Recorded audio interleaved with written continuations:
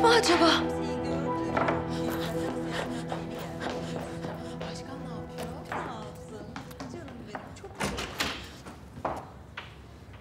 Siz miydiniz?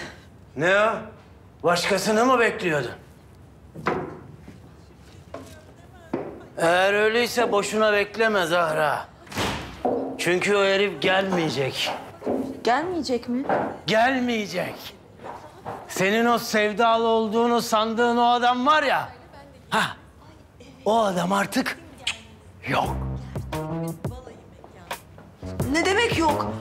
Ne yaptın ama sen? Ne yapacağım? Bir temiz dövdüm.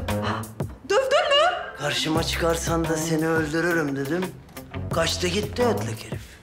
İbrahim ne diyor bu? Halit abi doğru söylüyor. Ağzını burnunu kırdı adamın. Ha.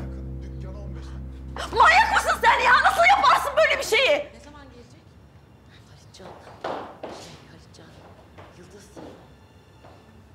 Ver telefonumu! Versene telefonumu! Ver! Tarık.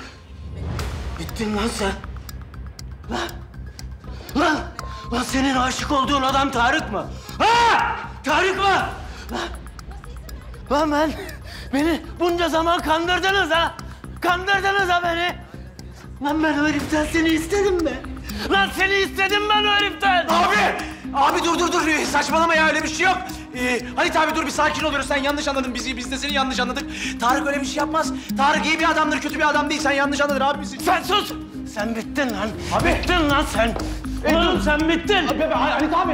Ee, bak sen şimdi yanlış anladın Lan tamam mı? dur! Sen- Öldüreceğim lan sizi. Kıpırdama! Abi! Öldüreceğim lan sizi. Abi! Buraya gel diyorum. Öldüreceğim lan sizi. Abi! Allah be! Hay telefonuna.